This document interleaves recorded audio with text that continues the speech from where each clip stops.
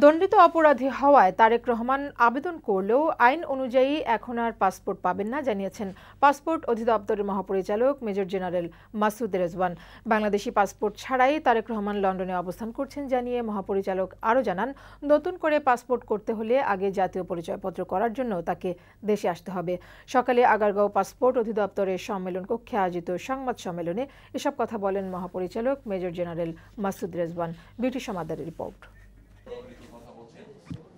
বিএনপির ভারপ্রাপ্ত চেয়ারম্যান তারেক রহমানের পাসপোর্ট জমা দিয়ে নাগরিকত্ব বিসর্জন দেয়া নিয়ে পররাষ্ট্র প্রতিমন্ত্রীর বক্তব্যের প্রেক্ষিতে গত কয়েকদিন ধরেই চলছে নানামুখী বিতর্ক।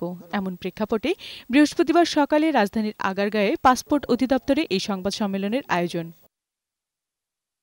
এ সময় অধিদপ্তরের মহাপরিচালক মেজর জেনারেল মাসুদ রেজওয়ান বলেন, তারেক রহমানের পাসপোর্টের মেয়াদ ফুরিয়ে গেলেও তিনি কোনো নতুন আবেদন করেননি। তবে দণ্ডিত অপরাধী হয় পাসপোর্ট আইন অনুযায়ী এখন আর আবেদন করলেও পাসপোর্ট পাবেন না। সে যখন অ্যাপ্লিকেশন করবে সেই অ্যাপ্লিকেশন ডেট থেকে তার পূর্বের পাঁচ বছরের মধ্যে তার যদি দুই বছরের জন্য মিনিমাম দণ্ডিত হয়ে থাকে, তাহলে সে, তাকে আমরা পাসপোর্ট দেব না।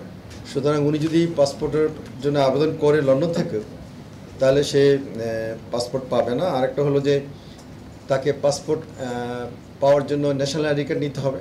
সে ন্যাশনাল আইডি কার্ডের জন্য বাংলাদেশে আসতে হবে। নতুন পাসপোর্টের জন্য প্রয়োজনীয় জাতীয় পরিচয়পত্র তারেক রহমানের নেই জানিয়ে অধিদপ্তরের মহাপরিচালক জানান নাগরিকত্বের সাথে পাসপোর্টের কোনো সম্পর্ক নেই। বাংলাদেশের সবার কি পাসপোর্ট আছে?